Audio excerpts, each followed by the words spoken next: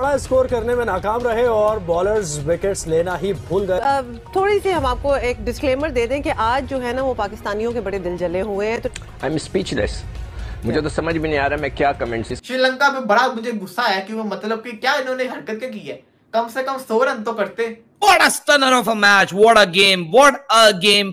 ये प्रॉपर एक रोमांचक एक फुल धमाकेदार फुल ऑफ़ ड्रामा ये होती है मशरती मशरकी औरत की पावर। इसे कहते हैं दादी का नानी का खाला का फुप्पो का ताई का सबका मतलब टोक बजा के ले गए Smriti Mandhana. Indian women has topped तो दोस्तों ये देखा आपने छोटा सा क्लिप भारत पाकिस्तान श्रीलंका बांग्लादेश थाईलैंड। ये टीम थी एशिया कप में वुमेंस के। भारत एक मैच हारा था पाकिस्तान से, आपने देखा होगा, पाकिस्तान हारा था थाईलैंड से। श्रीलंका पाकिस्तान का सेमीफाइनल हो, जिसमें पाकिस्तान एक रन से हार गया। भारत थाईलैंड से खेला, भारत हार गया। भारत जीत गया, सॉरी, मैं बांग्लादेश टीम भूल गया था, बांग्लादेश भी थी। तो पहले ये पूरा वीडियो देखते हैं, भारत ने ये सातवीं बार जीता है, आठ एडिशन में एक बार बांग्लादेश जीता है, वो भी भारत से जीता था।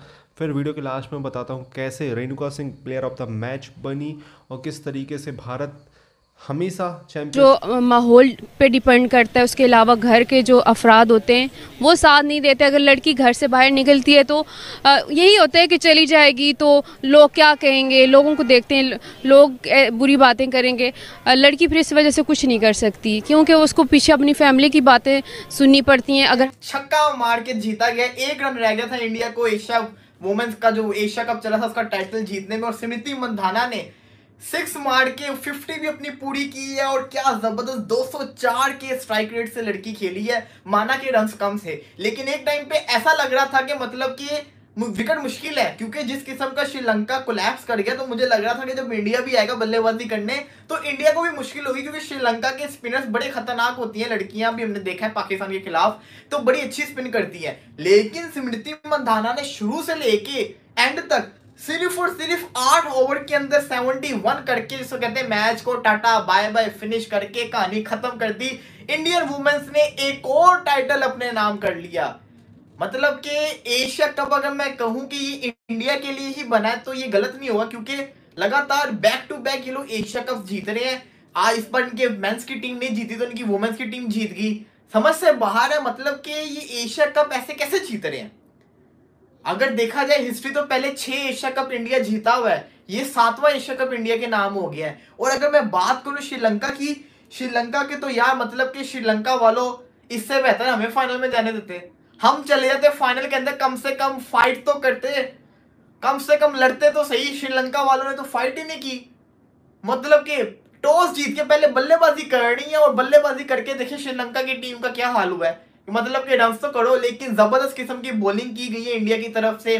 ज़बरदस्त किस्म का कहते हैं ना अटैक किया गया स्पिनर यूज़ किए गए हैं। हर स्पिनर जिसको कहते हैं, सारे ओवर ही स्पिनर्स कर रहे हैं विकेट निकाल रहे हैं। क्या ज़बरदस्त किस्म का जिसको कहते हैं प्रेशर डाला गया डरे नहीं।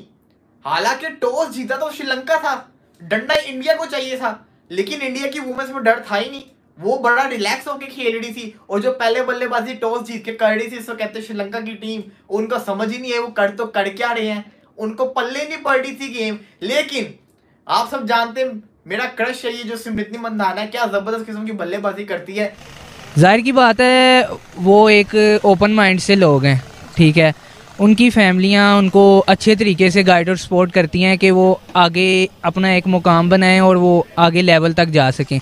बट हमारे पाकिस्तान में ना, ज़्यादातर आपको पता है फैमिलीज़ ऐसी हैं जिनकी लेडीज़ को वो बाहर नहीं निकलने देते। ज़्यादातर वो कहते हैं, बस मर्द कमा रहा है लेडीज़ ना भी कमाए नो इशू ठीक है? इसलिए वो लोग ओपन माइंड हैं ठीक है? वो चाहते हैं कि अगर मैन पावर है ना तो लेडीज़ की भी एक पावर बने ठीक है? बट हमें भी सपोर्ट करनी चाहिए वो तो अच्छी बात है। अगर लड़कियाँ इस मैदान में आगे हो रही हैं लड़के भी हो रहे हैं तो लड़कियों को भी होना चाहिए। ज़ाहिर की बात है वो भी एक जिन्स ही है ना। मतलब India Asia T twenty cup women's team ने जीत लिया है। बहुत सारी बधाई हो, शुभकामनाएँ। भाई, श्रीलंका को बस इतना ही कहना चाहता हूँ कि भाई, एक आपका, एक हमारा। ऐसा नहीं हो सकता कि दो दो आप लेके जाओगे। Best wishes bye best of luck well done भाई, मैं खुद ना बहुत ज़्यादा खुश हुआ भाई। मैं बहुत ज़्यादा खुश हुआ और प्राउड फील कर रहा हूँ भाई, देश की बेटियों ने। टी ट्वेंटी एशिया कप जीत लिया है और घर लेके आ रहे हैं कप को।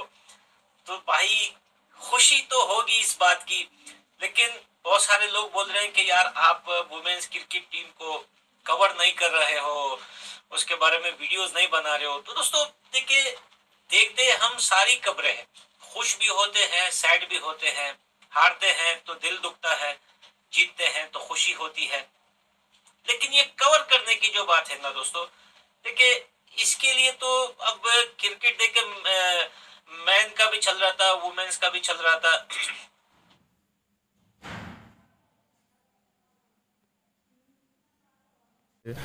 इस्लामी मुल्क है, इसमें थोड़ा उस लिहाज से भी देखा जाता है। लड़कियों को जो है अगर अच्छी परफॉर्म कोई कोई भी अच्छी परफॉर्म करती है तो वो मे भी आगे आ सकती है और ऐसे ही जैसे उनको अवार्ड मिला है, इनको भी मिल सकता है, मगर परफॉर्मेंस के बगैर कुछ नहीं होगा।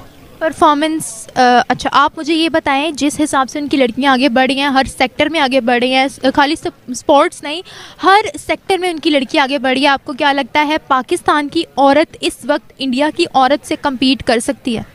नहीं, ऐसे नहीं है हमारा जो है ना, इधर जिस तरह का कल्चर है, उस लिहाज से देखा जाए तो बाहर लोगों को जो है ना, लड़कियों को ज़्यादा इस हवाले से प्रमोट किया जाता है पाकिस्तान में जो है ना, वो फिल वक्त मैं, मेरा जो पॉइंट ऑफ़ व्यू है, वो यही है कि वो फिल वक्त जो है ना, वो नहीं किया जा all our family that comes from India. What a win! What a win! चाहे आप सिक्सटी नाइन बॉल स्पेयर हों, उस पर जीत जाए या आपने ओपोनेंट को फाइनल में सिक्सटी फाइव पे रिस्ट्रिक्ट कर दिया हो, उस सबसे बढ़ के जो खुशी और शायद एक सुरील फीलिंग जो होती है ना, जो सेटिस्फैक्शन होती है किसी भी अपने मुल्क के क्रिकेट फ़ैन के लिए, वो होता है कि अगर हम एक टूर्नामेंट जो कि मल्टी नेशन हो, जिसमें बहुत सारी टीम्स मुकाबला कर रही हो, हम उसके फाइनल में पहुँचे और वो फाइनल हम छक्के से जीते हैं। तो Mandhana a superstar she has been for India और वर्ल्ड क्रिकेट के, वो वुमेन्स वर्ल्ड क्रिकेट की पूरी जो इकोसिस्टम है, जो पूरी ग्लोब से ये खातन जमा होती हैं। अगर उस पॉइंट पे आप जाके मंदाना को देखें, वो हर जगह पे स्टैंड आउट करती है और आज उसने मेयर 25 बॉलों के अंदर 25 बॉलों के अंदर इस मुकाबले को वन साइडेड खत्म किया। And what a feeling it would have been for her to winning the trophy that too with a that too with a boundary and a six मतलब इससे बड़ी फीलिंग कोई नहीं हो सकती कि 23 बॉलों के ऊपर आइकॉनिक ये आइकॉनिक मूवमेंट्स होते हैं। जैसे एम एस धोनी का हेलीकॉप्टर सिक्स करके वो वर्ल्ड कप जीतना था ना, वो एक आइकन एक आइकॉनिक मूवमेंट था, जो कि इतिहास के पन्नों में जाके जज्ब हो गया, वहाँ सेव हो गया। उसी तरह ये एक बहुत आइकॉनिक मूवमेंट है कि आप तो दोस्तों, आपने ये छोटा सा वीडियो देखा, भारत ने एशिया कप महिलाओं का जो आठवा, आठवां एडिशन था, आठ में से सात बार जीता है और एक एडिशन बांग्लादेश ने जीता है, वो भी आपको पता होगा किससे जीता है? भारत से ही जीता है।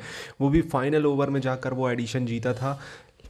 तो ये जो एडिशन है, इस बार श्रीलंका से हमारा फाइनल हुआ। हालाँकि पाकिस्तान सेमीफाइनल में श्रीलंका से एक रन से मतलब हारा था, वो मैच काफ़ी क्लोज था।